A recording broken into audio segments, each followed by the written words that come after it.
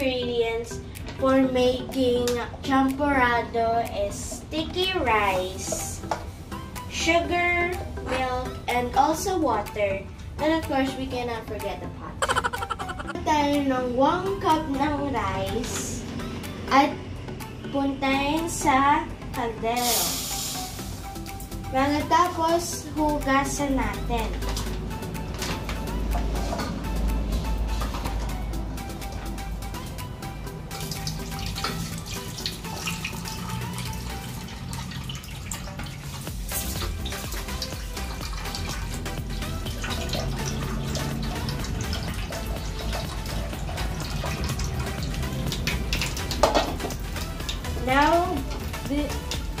Ito ang magkakaroon.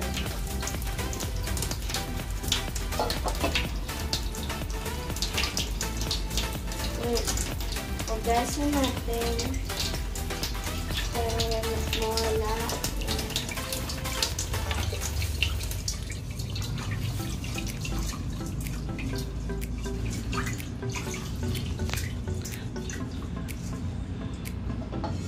Tapos, dapat aalisin ang tubig para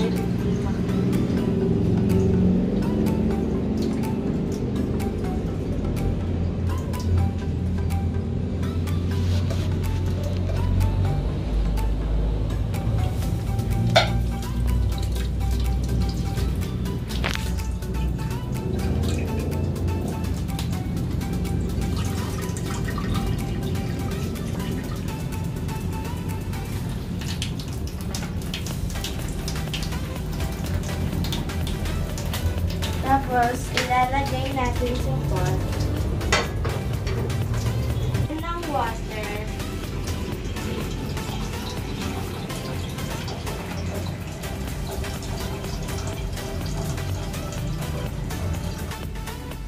Takpan at hintayin para kumukulo. Pag malambot ang malagkit, ilalagyan natin ng 2 spoons of pa cocoa powder.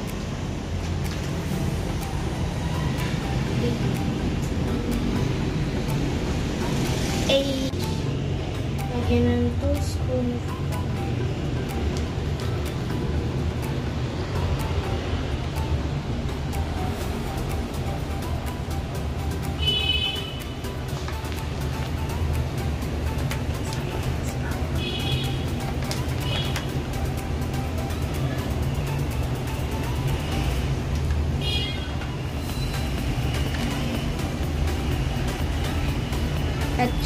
pagkatapos, haluin mo na.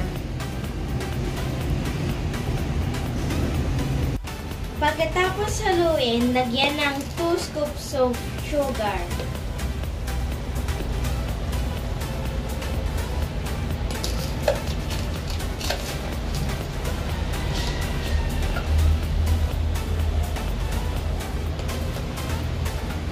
Tapos haluin na ulit. Luto na ah, ang ating champorado.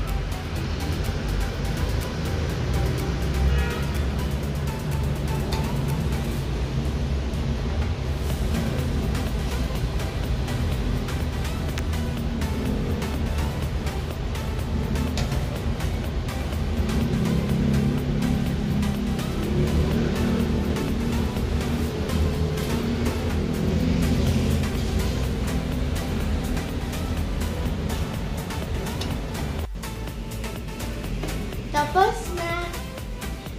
Ngayon, lagyan natin ng milk para mas masarap.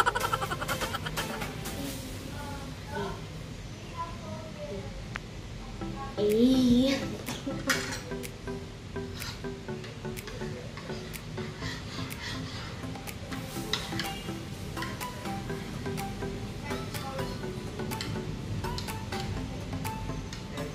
Taste na natin.